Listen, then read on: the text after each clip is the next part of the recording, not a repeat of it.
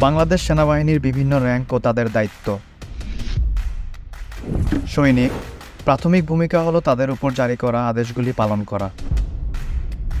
Lance corporal, এক বছর বা তার আগে ঊর্ধ্বতন কর্মকর্তা দ্বারা উন্নীত হয়। প্রাথমিক ভূমিকা হলো তাদের উপর জারি করা আদেশগুলি পালন করা। কর্পোরাল নন কমিশনড অফিসার পদের ভিত্তি। একটি সেকশন কমান্ডার হিসেবে কাজ করে ক্ষুদ্রতম সেনা ইউনিট।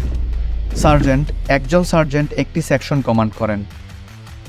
সার্জেন্টরা সৈন্যদের উপর সবচেয়ে বেশি প্রভাব ফেলে, কারণ সার্জেন্টরা তাদের দৈনন্দিন কাজে তাদের তত্ত্বাবধান করে। ওয়ারেন্ট অফিসার প্লাটুন নেতা। সাধারণত পনেরো থেকে বিশ বছরের সেনাবাহিনীর অভিজ্ঞতা থাকে এবং সৈন্যদের দেশের স্বার্থে দ্রুত সঠিক সিদ্ধান্ত নেয়। সিনিয়র ওয়ারেন্ট অফিসার প্লাটুন নেতা।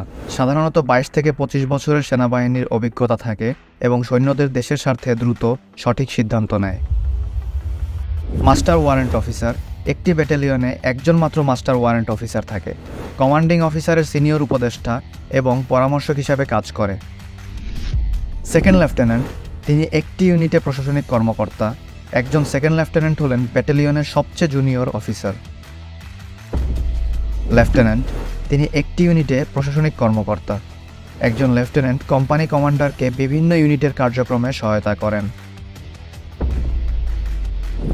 ক্যাপ্টেন, অনেক সময় অফিসারদের বিজিবি, এসএসএফ, র্যাবে ক্যাপ্টেন হিসেবে নিয়োগ দেওয়া হয়। একজন ক্যাপ্টেন একটি কোম্পানির সেকেন্ড ইন কমান্ড বা ইউনিট। মেজর, অনেক সময় অফিসারদের বিজিবি, এসএসএফ, র্যাবে ক্যাপ্টেন হিসাবে নিয়োগ দেওয়া হয়। একজন মেজর একটি ইউনিট ব্যাটালিয়নে কোম্পানি কমান্ডার হিসাবে কাজ করেন। লেফটেন্যান্ট কর্নেল, অনেক সময় অফিসারদের বিজিবি, এসএসএফ, র্যাবে ক্যাপ্টেন হিসেবে নিয়োগ দেওয়া হয়।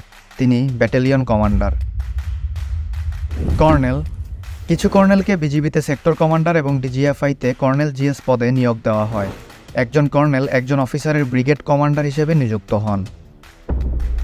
ব্রিগেডিয়ার জেনারেল কিছু ব্রিগেডিয়ার জেনারেলকে সেক্টর কমান্ডার হিসেবেও বিজিবিতে নিয়োগ দেওয়া হয়। একজন ব্রিগেডিয়ার জেনারেলকে ব্রিগেড কমান্ডার হিসেবে নিয়োগ করা হয়। মেজর জেনারেল, তিনি সশস্ত্র বাহিনী বিভাগে PSO DGFI SSF BGB Ansar ও ডিডিপি এবং আরও কিছু সংস্থার মহাপরিচালক হিসেবে দায়িত্ব পালন করেন। একজন major জেনারেলকে division level general officer commanding হিসেবে নিয়োগ দেওয়া হয়।